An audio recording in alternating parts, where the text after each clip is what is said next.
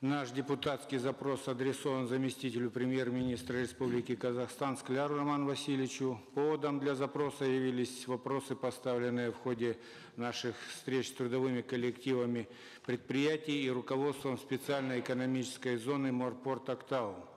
Нужно отметить, что за время функционирования специальной экономической зоны, благодаря государственной поддержке и вкладу бизнеса, создана развитая инженерная инфраструктура, построены и функционирует ряд промышленных предприятий.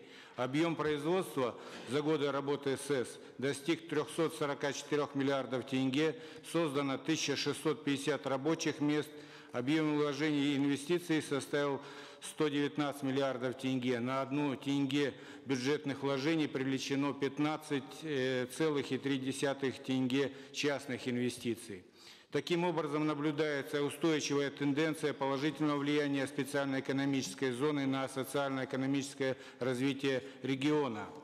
Однако дальнейшее развитие СЭС и успешная реализация инвестиционной политики государства в Мангистауской области с учетом располагаемой территории, созданной инфраструктурой, интересами бизнеса, созданием рабочих мест э, предполагает дальнейшее развитие зоны.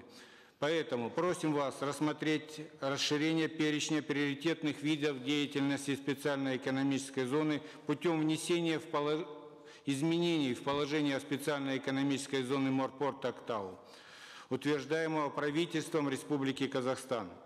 Для включения в э, расширенный список предлагаем следующие виды деятельности. Первое – туристическая деятельность. Второе – развитие легкой промышленности. Третье – развитие пищевой промышленности. И четвертое – развитие аквакультуры. Включение указанных видов деятельности окажет положительный эффект решения социальных проблем занятости населения, в том числе и в густонаселенных районах, прилегающих к территории специальной экономической зоны. О результатах рассмотрения депутатского запроса просим дать письменный ответ в установленные законом сроки. Депутаты Сената Бортник Черпеков.